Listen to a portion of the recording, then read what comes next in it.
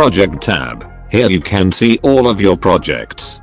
Tutorial tab. Here you can get tutorial for many stuff.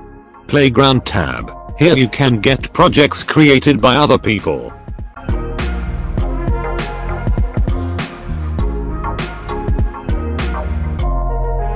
You can also publish your project to Playground tab, but for that you need 10 coins and for coins you need to sign up first, which you can do in Account tab. You can create your own project by clicking here.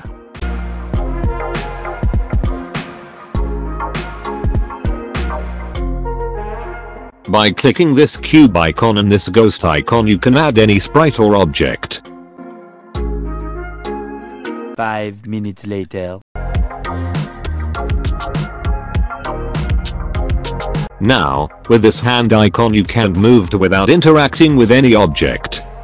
This arrow icon is for moving selected object.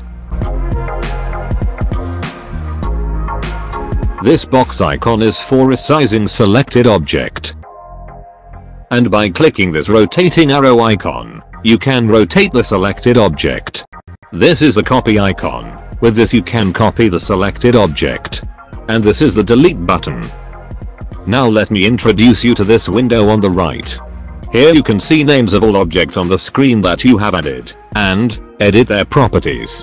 If you click on this scope icon, you can see the properties of selected object.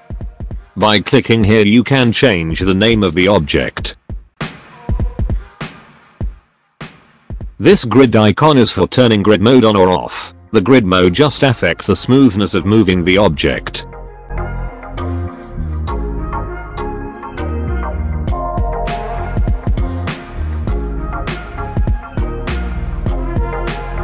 Now, how can you add components and edit properties of an object?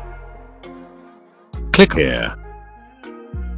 And then click on rigid body. With rigid body a box collider will also get added. With rigid body you can add gravity and physics to your object.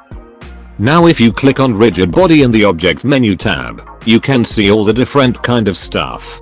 And if I forgot to tell, this button is for playing your game. As you can see now if you play the game your objects will fall down, which means it has gravity. If you click the play button before adding the rigid body your object will just stay there and nothing will happen. We will talk about other components of rigid body after some time. For now let's talk about Box Collider. By clicking on Box Collider in Object Menu tab, you can adjust the size of the Box Collider. Box Collider is just a box which will stay attached to your object so your object can interact with other objects.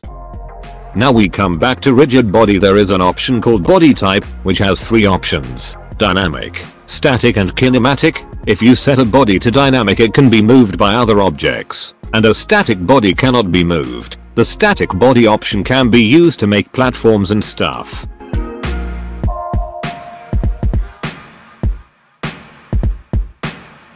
Add rigid body. Let's set gravity to 0 so it doesn't fall down. And set body type to static. Remember I told you about the debug play mod. With that you can essentially play your game but you can see all the box colliders and the variables.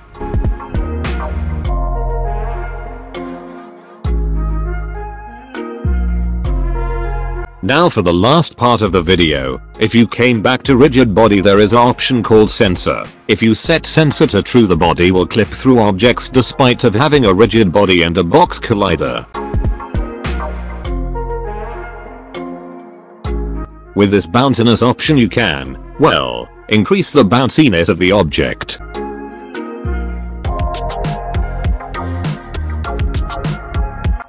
And there is also a transform option in the object menu tab. With this transform function you can change the, the coordinates, the angle and the size of object to a specific value.